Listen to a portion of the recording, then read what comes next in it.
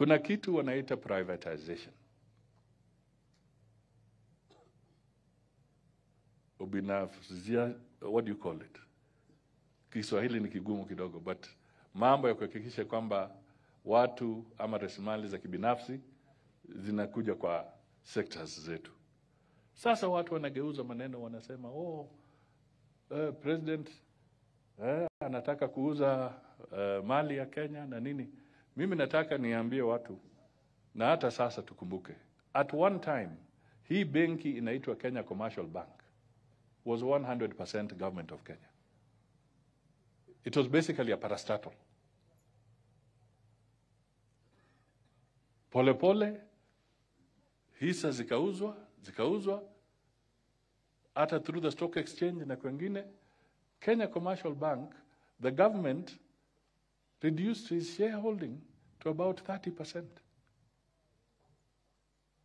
The rest ni shareholders wengine.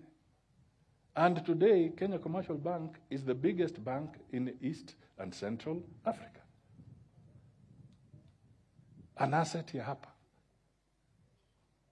Kwani mtu aling'oa Kenya Commercial Bank hapa ameenda nayo? Siko hapa. Haya, tukienda kwa posta, tulikuwa tunaita Kenya Posts and Telecommunications, wakafanya privatization, ndio hiyo Safaricom. Mimi nawauliza sasa, Kenya government is about again 30% shareholder roughly there in Safaricom. Hiyo ingine yote iko na watu, makampuni ya Uingereza, raia wa Kenya kupitia kwa stock exchange na kadhalika. Today the biggest taxpayer in Kenya is hiyo safarico There you are. Privatization. Juzi serikali ya Uingereza kupitia Heathrow Airport, hiyo Heathrow Airport wengine mmepitia hapo. Heathrow Airport 12% share ya Heathrow Airport imenunuliwa na Saudi Investment Fund. Saudi Arabia kupitia kwa investment fund yao wamenunua hisa of which is worth 12% share ya Heathrow Airport. Sasa mimi nataka niulize Wakenya ambao wanalalamika, kwani wakipima watu wa Saudi Arabia wameenda wameng'oa Heathrow Airport kutoka London wamepeleka Saudi Arabia, ama bado iko London? Lakini wamechukua sasa zile investment kutoka Saudi Investment Fund ili zitengeneze mambo huko Heathrow so that they continue to expand the airport. That is how you bring capital.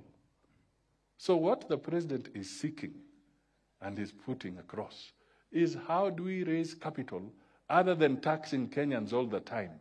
What are the other ways we can raise capital ili tujenge taifa letu? Na haya yote akisema there is a law. There is a privatization act imepitishwa na parliament. So even parliament recognizes the word privatization. And it is in our statutes. It is not illegal.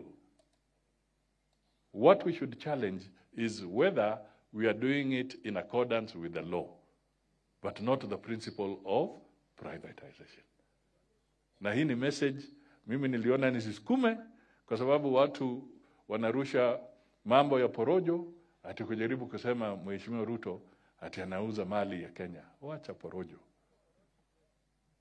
There is nothing like that. And even when you privatize, there are those that will go through parliamentary process.